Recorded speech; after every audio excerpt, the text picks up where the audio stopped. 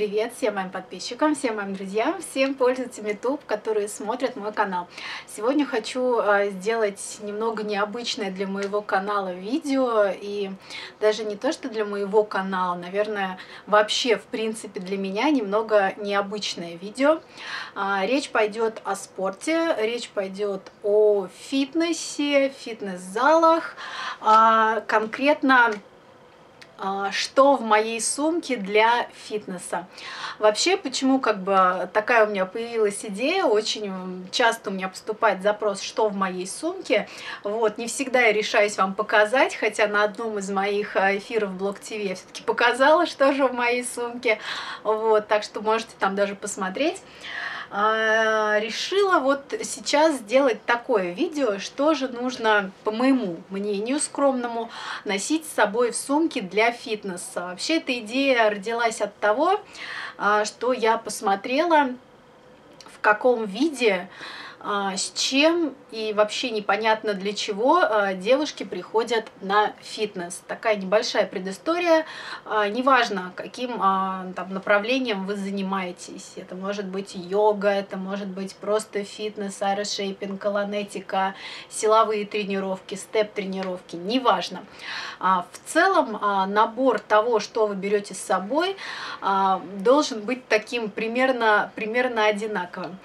Единственное, что меня очень сильно удивило, в каком виде иногда девчонки приходят на фитнес. Все-таки 90% людей приходят на фитнес, ну, видимо, с нормальной такой самооценкой, с нормальным видением себя вообще в мире, вот, но а, некоторые случаи, которые я, конечно, встречала а, в, фи в фитнес центре и в зале и так далее, меня, конечно, до глубины души а, поразили. Поразило меня то, что девчонки умудряются приходить на фитнес при полном косметическом и фэшн-параде.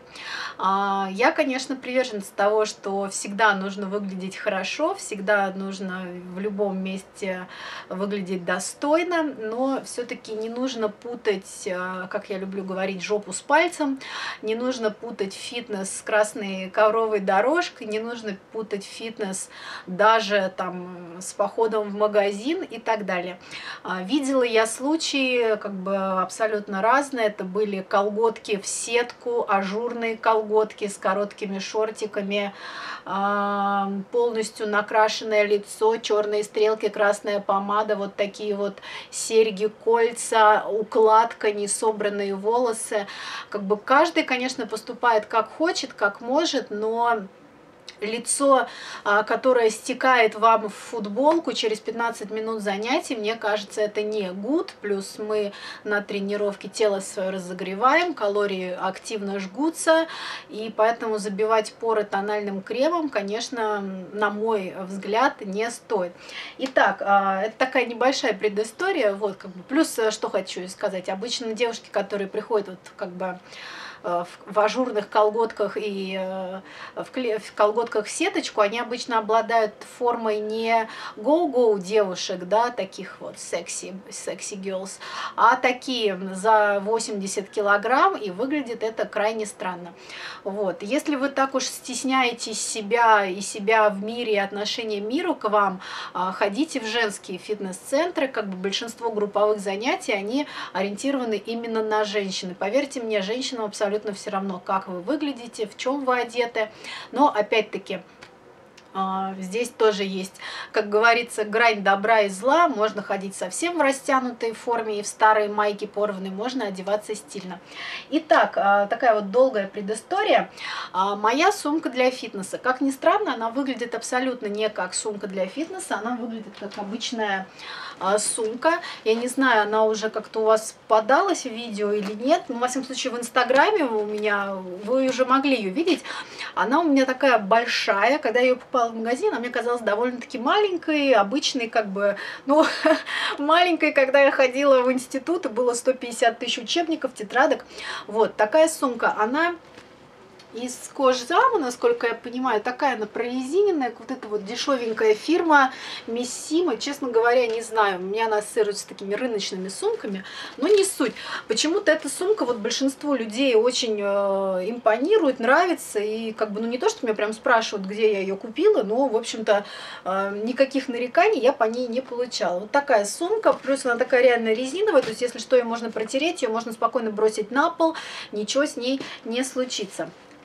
Итак, что же у меня в сумке для фитнес? Ну, то, что там лежит абонемент и как бы расписание, я думаю, это понятно. Итак, основные вещи, которые я считаю, нужно вообще брать с собой. Первое. Первое, нужно обязательно брать воду. Это сейчас идет а, активная реклама а, бренда. Вот, если хотите, сделаем вот так. Нужно брать обязательно воду, без газа, без всего, обычную простую воду. Можете поступить по-пижонски, купить себе какую-нибудь какую-нибудь дорогую бутылку воды, а потом в нее наливать обычную какую-нибудь э, дешевенькую, вот, и всем будет казаться, что вы каждый день пьете перье. Ну, девчонки, как бы мы все все понимаем, и у всех есть вот эта вот фигня, что при подружках мы красимся самой лучшей косметикой, э, самой дорогой, как бы это абсолютно нормально, не надо этого стесняться, не надо этого бояться, это жизнь, и это нормально.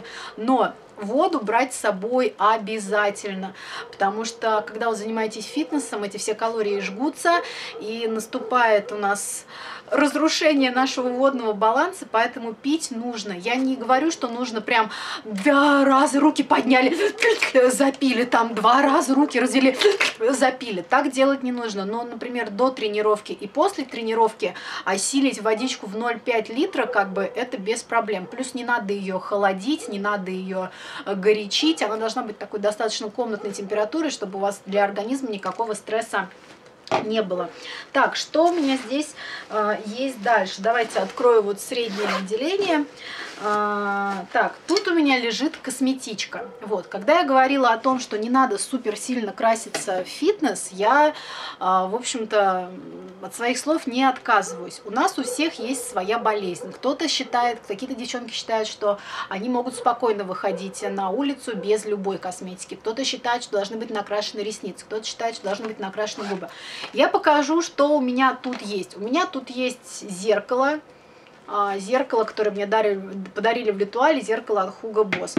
У меня здесь лежит а, жевательная резинка. У меня здесь лежат капли а, для носа, потому что нос у меня часто забивается, на тренировке это неудобно. У меня здесь лежит вот такой вот бальзам для губ, потому что когда активно дышишь, в общем-то, иногда губы портятся, поэтому бальзам для губ есть. У меня здесь лежит а, вот просто такая самая дешевая тушь, которой я практически не пользуюсь, просто вот кинула ее, потому что иногда хожу вообще не накрашенная, иногда хожу накрашенная, иногда после тренировки чуть-чуть подкрашу реснички. Это как бы вот это не обязательно, но для меня это вот такой спасительный момент, что как это так, я могу выйти без косметички. Я не могу, поэтому я беру минимум. А, здесь лежат какие-то ватки, совсем чуть-чуть, опять-таки, если там были накрашены ресницы, чуть-чуть там что-то потереть, стереть. Так, также у меня здесь лежит какой-то пробник, а, духов от Dolce Gabbana, но им практически не пользуюсь, он так больше для запаха. У меня здесь лежат щипчики для ногтей, потому что я один раз очень прилично сломала себе ноготь на тренировке, ударила его в заднюю поверхность а, кроссовка. Вот, очень, очень было больно, поэтому таскаю с собой вот такую штуку. И лежит у меня здесь вот такая штука для бровей, но это отдельный момент. Я когда всю жизнь вот я только пощипаю себе брови, и потом я где-нибудь при каком-нибудь свете все равно нахожу какой-нибудь непонятный волосок. Поэтому это личностный мой загон, и как бы я просто это с собой ношу. В общем, мне так проще, мне так спокойнее. Вот, так что как бы такая маленькая косметичка. Если вы вообще э, такая эмансипированная девушка, назовем это так, если вы спокойно можете ходить, просто без ресниц, без всего, это лучше. Но э, если не можете, вот я люблю хотя бы накрасить ресницы. Пожалуйста, ресницы э, в потоотделении не участвуют. Хотя, с другой стороны, если вы идете на какую-то э, такую очень сильную тренировку, типа степа, у вас поплывет лицо, и у вас реально могут поплыть глаза. Поэтому, если вы идете на колонетику, где можно там поднять ручку, опустить ручку, полежать в какой-нибудь красивой позе, то без проблем. Но по-другому это просто будет вам мешать. Так, что у меня здесь лежит дальше? Дальше у меня здесь лежит э, термальная вода, эко-спа, кислородная вода. Мне нравится после тренировки чуть-чуть протереть лицо и, в общем-то, пройтись водичкой. Ну, как бы на лето это вообще хорошо, и после спортзала тоже замечательно. Дальше у меня здесь лежат э, простые салфетки бумажные. Также у меня здесь лежат э, салфетки от э, Литуаль. Вообще вот очень люблю эти салфетки от Литуаль. Часто у них закупаюсь. У них сейчас очень много их разных появилось. И для интимной гигиены, и для глаз, и для лица, и для такой кожи, для сухой. Обратите внимание, по цене они, в принципе, достойно получаются по карточке. Вот такие с собой беру. А если вы очень сильно потеете, берите с собой полотенце. Я, ну, потею, но не сильно, и мне это не очень мешает, то есть меня под градом не течет, поэтому мне хватает таких вещей. Если вы знаете за собой, что вы сильно потеете, то тогда, конечно, стоит взять э, полотенце там и что-то что, -то, такое. Что у меня здесь лежит дальше? Дальше у меня здесь лежит дезодорант. Вот дезодорант взять с собой нужно перед тренировкой помазаться, после тренировки помазаться. У меня вот такой вот дезодорант от фирмы LV это вообще очень клевая фирма, гипоаллергенная. Отдельное видео на нее будет, замечательные продукты. Просто good. Выпускает, кстати, Хельсинки. Вот, можете взять любой. Мне это нравится тем, что он без запаха, без всего и как бы очень-очень здорово. Так, последнее, что у меня тут лежит, это крем для солярия, потому что после э, тренировок я очень часто хожу в солярий. Вот, могу очень посоветовать вам вот такой вот, но э, Danger, Danger, Danger это э, крем с тингл эффектом на верхнюю часть тела, на лицо. Вообще никогда, вообще, вообще, вообще никогда не смейте это мазать, просто ни при, каким, ни при каком раскладе. Только на ноги, только на ноги. Сколько вот я загорала в солярии, у меня ноги никогда не загорают, поэтому я уже э, пустилась в авантюру, купила крем с тингл эффектом, намазалась. Ноги горят, ноги все в красных пятнах, но зато они реально за один раз загорают. При этом, даже когда вы намажете вот таким вот кремом ноги, руки потом вытирайте всем, чем можно. Лицо не трогайте, руки протирайте два раза или три влажными салфетками. Один раз протерла неаккуратно, у меня вот здесь вот это все осталось, как бы пока я терла ноги. И, в общем, получила я себе приличный ожог. Вот, поэтому как бы я вот люблю очень так совмещать тренировку и солярий. Так, это отделение пустое. Теперь, что касается формы. А, форму я люблю покупать что-нибудь, конечно, новое. Сейчас у меня формы мало, у меня есть там трой, пара-тройка штанов, пара маек, точнее майка даже одна. А, что хочу сказать, если у вас есть возможность, не экономьте на майке. Здесь как бы опять-таки момент личностного восприятия. Кому-то удобно ходить на тренировки в таких вот, ну, обычных хлопковых каких-то маечках с рисунком и так далее. Чем мне это не нравится? Под такие майки нужно одевать специальное белье, потому что сиськи, которые скачут вот так вот, это, во-первых, некрасиво, во-вторых, это больно, и чем больше у вас размер, тем больше это вот так шатается, и грудь растягивается, это очень плохо. А, я предпочитаю майки спортивные из вот этих вот химических искусственных материалов, я даже не знаю, из чего они, вот, но они вот как бы на ощупь такие, как будто бы чуть-чуть резиновые. У меня вот сейчас самая любимая майка вот такая вот. А, честно говоря, какая-то это фирма, я вот просто даже не помню, как она называется, что это такое. Не знаю, ну вот эти вот девочки как бы что-то известное. В общем, покупала я в спортмастере. Чем мне нравится эта майка? Она двухслойная, то есть в ней есть вот этот вот нижний слой, который я использую вместо бюстгальтера, да, очень удобно, ничего не торчит, все на месте, как бы. И плюс, что мне нравится, в этих майках не сильно потеешь и не разогреваешься. То есть она вся дышит. Я не знаю, каким образом а, химическое волокно, вообще стыдно, конечно, надо знать, каким образом химическое волокно работает. Вот, но а, в ней реально не потеешь сильно, в ней реально пот по тебе не струится, она быстро впитывает, быстро из себя испаряет. Плюс тело у вас все такое вот подсобранное, не то, что в майке болтается, а подсобранное. Один раз у меня как-то эта майка была в стирке, пошла примерно вот, ну, в такой, даже пошире был ворот.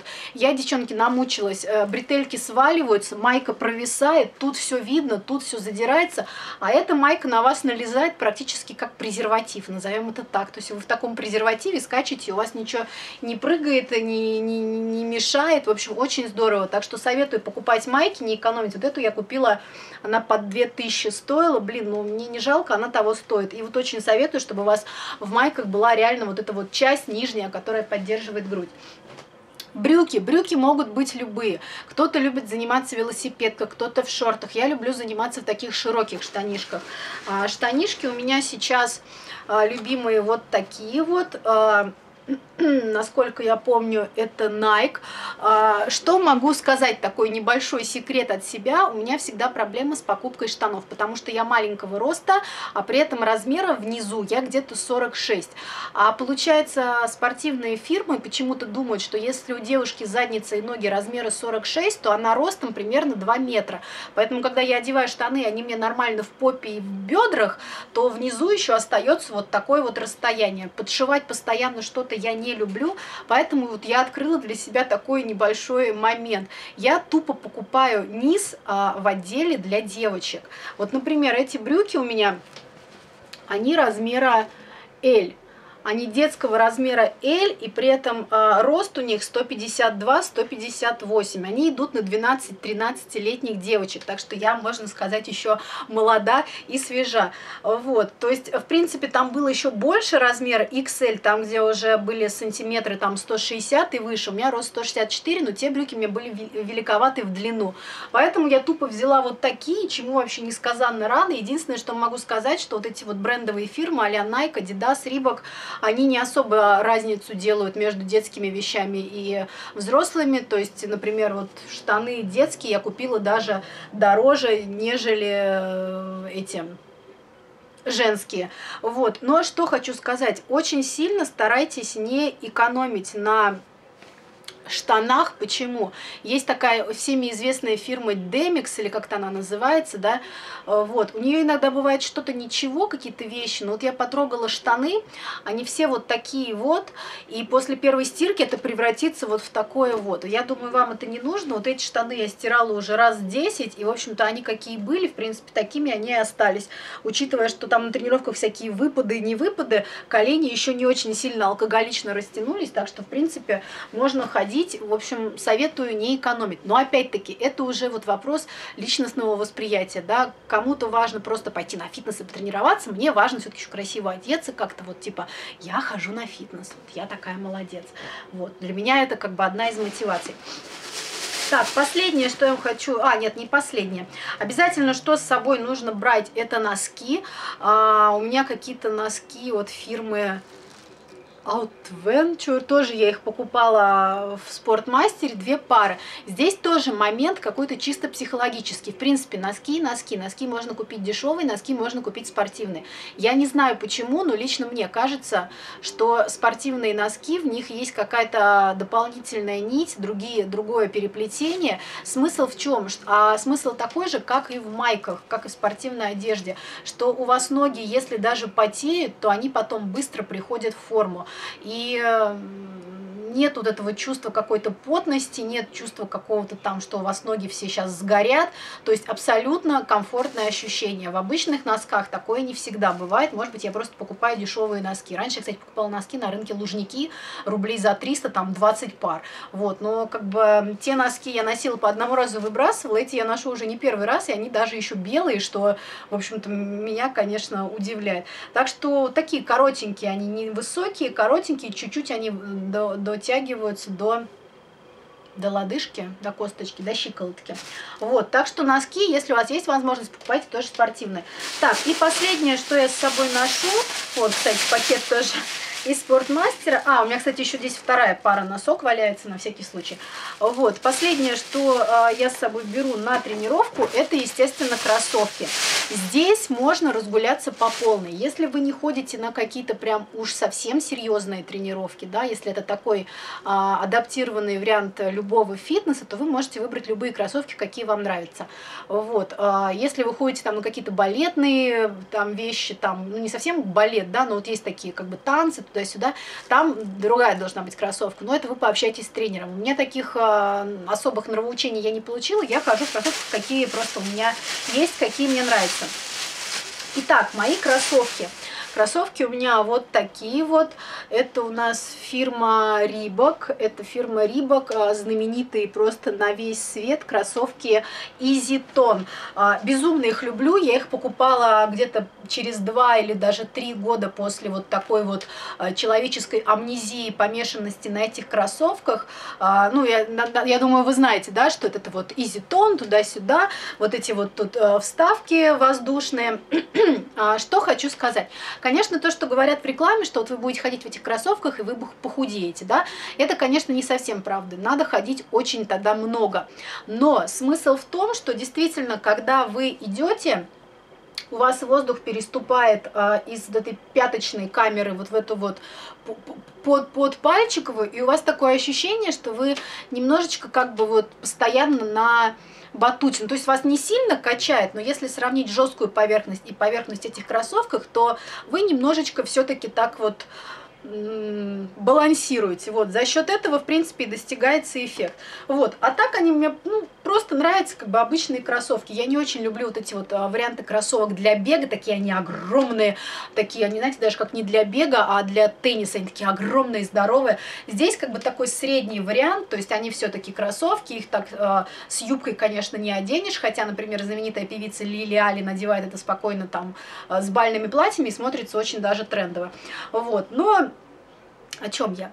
О том, что вот, просто они у меня были, есть, как бы я в них хожу. У меня есть еще одни кроссовки от Nike, но, честно говоря, в них я не хожу. В последнее время хожу в этих, плюс как бы получается, что у меня черные брюки, розовая вот эта майка и розовые кроссовки, так что, в принципе, очень даже стильно выходит.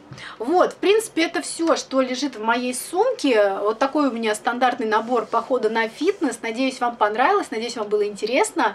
А, ваши комментарии очень-очень жду, ваши советы очень-очень жду по части тренировок, по части фитнеса. Всех вас люблю, целую, ваша Вероника. Пока-пока-пока.